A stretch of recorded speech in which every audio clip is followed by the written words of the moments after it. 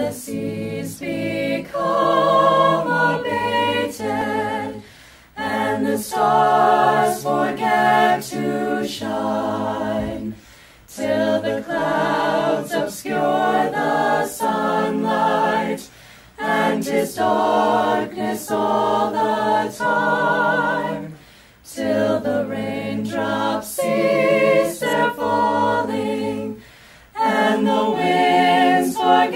to